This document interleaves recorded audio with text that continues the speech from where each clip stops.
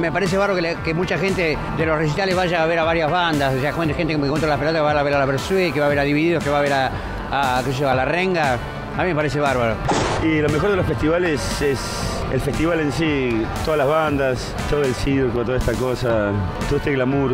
Es divertido, los festivales a mí me divierten. Este, hoy me invitan a un concierto de festival, soy el tipo más contento del mundo porque la gente tiene oportunidad de ver la diferente personalidad de los seres humanos encarnados.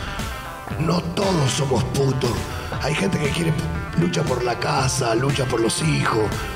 Me da la sensación que son gestos democráticos de una forma, o sea, se juntan en, un lugar mucha gente con estilos diferentes a tocar música y, el mismo público recibe todas las, las emisiones, digamos, ¿no? Y eso es fabuloso, eso es- habla, de, habla de un público y de un, o de un sector de la gente muy tolerante y eso, es- eso es nuevo en Argentina. Está bien elegida las bandas, me parece. Va a destacar por tocando y como que se va acre- acrecentando el clima, ¿no? Me parece que está muy bueno. Estamos aprendiendo, es, es el comienzo de los grandes festivales con grandes producciones.